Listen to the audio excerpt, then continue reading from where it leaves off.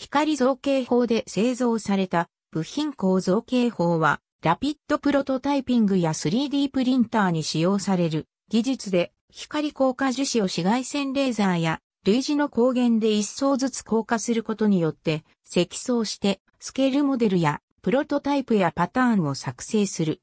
光造形法の語源は1986年に光硬化樹脂を紫外線で硬化して積層することによって立体物を作成する装置の特許を取得したチャールズ W. ハルによるものである。ハルの特許には光硬化樹脂で満たされた層の表面に紫外光の周光光速を照射することが記載されている。光速は液体の層の表面上を出力物の断面を描き、硬化させる複雑な工程を自動化する。1986年、春はこの製法を普及し、商業化するために、最初の会社で現在サウスカロライナ州、ロックヒルを拠点する 3D システムズ社を設立した。先進的な構築数学モデルを光造形の工程に導入して工程によって構築される可能性のある予定された物体の妥当性を検証する設計アルゴリズムを開発した。同時期、日本でも原理が開発されたが、特許は出願されていたものの、審査請求期間内に審査請求がされなかったために、成立しなかった。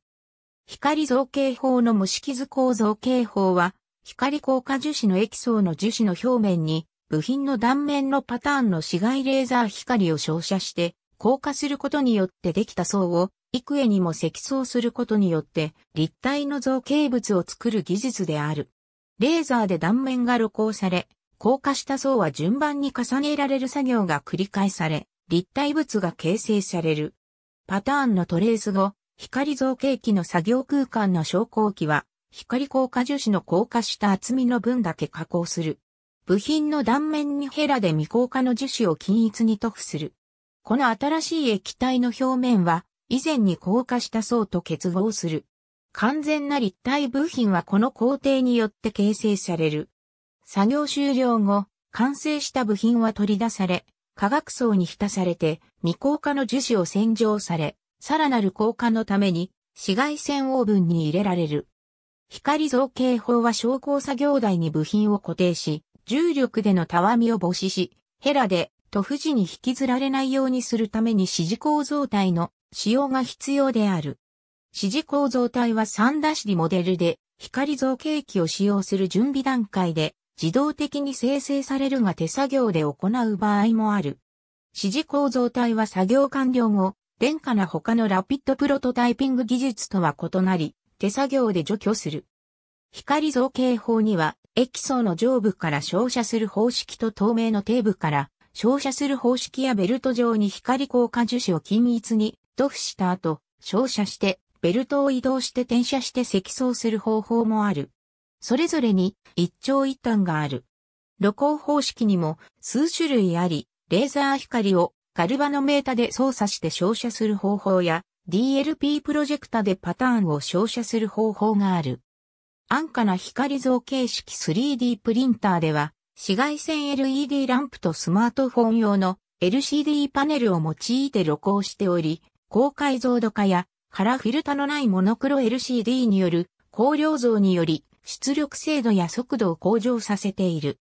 光硬化樹脂を満たした液層内の樹脂に出力対象の断面を露光する方法以外に、インクジェットプリンタと同様の原理で、ノズルから光硬化樹脂の液滴を供給して周囲から硬化用の紫外光を照射する方法もある。液層内に光硬化樹脂を満たす方法と比較して、構造がやや複雑化するものの、未効果で無駄になる光硬化樹脂が減るので、運用経費が安くなる。複数のノズルで物性の異なる樹脂を供給することで、形状サポート部分の造形後の除去を容易にしたり、異なる色の光硬化樹脂を供給することで、フルカラー出力も可能。光造形法の利点の一つは、造形速度である。機能的な部品を1日程で製造できる。所要時間は、数時間から1日以上まで、大きさと複雑さに依存する。大半の光造形機は生成できる部品の最大の大きさが約 50-50-60cm で、大型鋼造形機では2メートル以上の長さの単体の部品の製造能力を有する。光造形法による試作品は機械加工するための十分な強度を有し、射出成形、熱成形、ブロー成形や多様な金属鋳造工程のための原型として使用可能である。また精度においても比較的優れており、細部まで再現できるので、MEMS の部品作成においても使用される。欠点としては、造形素材が光硬化樹脂に限定されてしまうことである。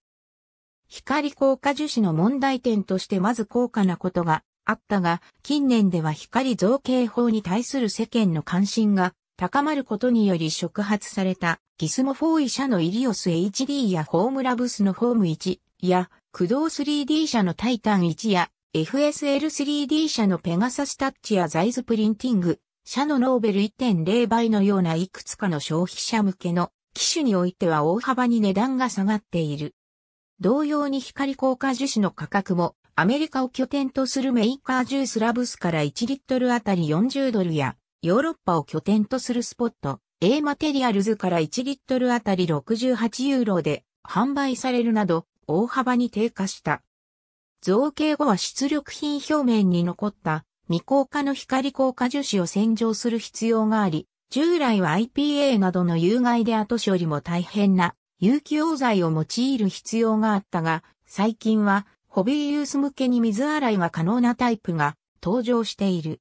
光硬化樹脂は性質上科学的に不安定なため、歪みによる寸法の狂いや経年劣化による割れなども生じやすい。ありがとうございます。